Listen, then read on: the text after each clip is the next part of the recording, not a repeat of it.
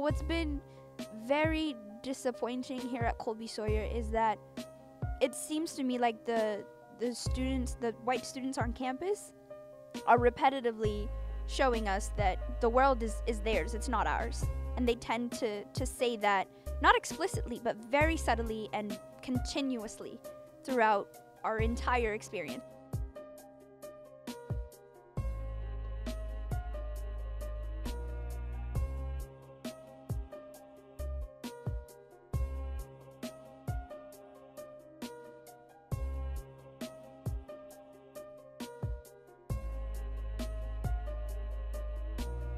And it and it's affecting us. It's not affecting the white students on this campus.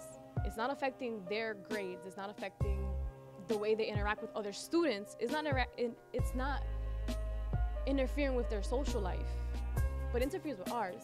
It interferes with academics. Interferes with our social life. Interferes with so many other aspects, and that's why so many of us leave. So many of us transfer, and it's because of how people treat us.